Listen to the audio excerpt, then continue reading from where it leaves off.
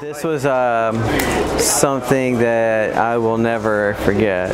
Being in this place, being in, the, um, to be able to lead worship and to be able to be the first time songs of praise have come out of this since Jesus' day, from this place, since Jesus was here, is it's just it's it's hard to grasp really for me.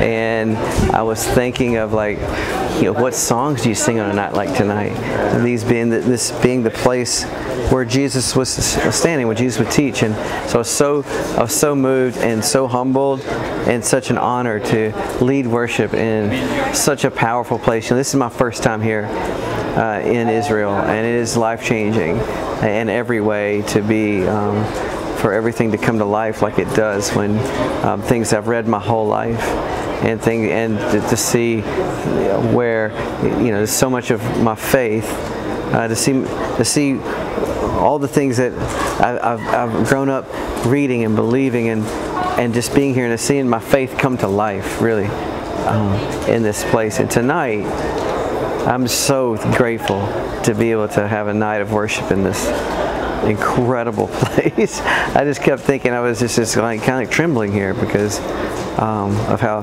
special this this dirt is and these stones are.